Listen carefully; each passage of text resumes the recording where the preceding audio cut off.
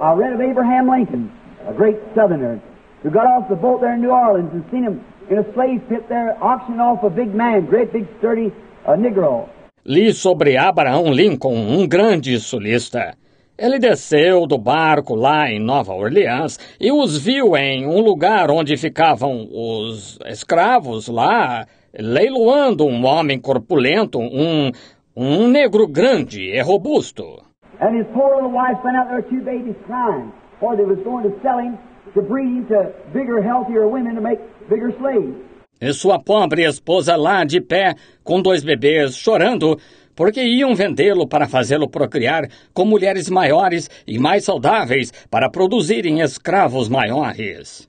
Abraham Lincoln this just like that said, That's wrong. Someday I'll hit it if it takes my life. It did. But he hit it. He broke a tune. Abraham Lincoln ergueu o punho assim e disse: Isso é errado. Algum dia vou lutar contra isso, mesmo que me custe a vida. Custou, mas ele lutou. Ele acabou com isso, sim. Let me tell you, brother, unbelief is of the devil. Let me hit it, Lord. I don't care if it costs my life. Let me break that from over the church. Those boundaries and so forth that we can see we by one Spirit we're all baptized into one body. And we're Christians. Deixe-me dizer-lhe, irmão, a incredulidade é do diabo. Deixa-me lutar contra isso, Senhor. Não importa se me custar a vida. Deixa-me acabar com isso que está sobre a igreja, essas divisões e assim por diante, para que possamos ver que, por um Espírito, somos todos batizados em um corpo e somos cristãos. We're brethren. No matter the man belongs to the Church of God and I belong to Assemblies, and this is Baptist or Presbyterian, we are brothers.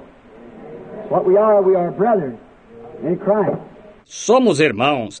Não importa se um homem pertence à Igreja de Deus e eu pertenço às Assembleias e este é batista ou presbiteriano. Somos irmãos. O que somos? Somos irmãos em Cristo.